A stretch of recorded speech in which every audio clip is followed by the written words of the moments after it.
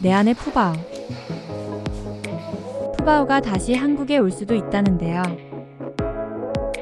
구독과 좋아요는 큰 힘이 됩니다. 푸바오가 다시 한국에 올 수도 있다는 뉴스를 보았습니다.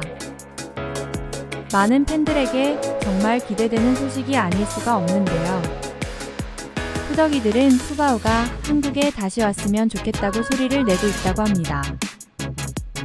아직 중국이 적응되지 않은 푸바오는 무한으로 구르기를 시전하고 있다고 합니다.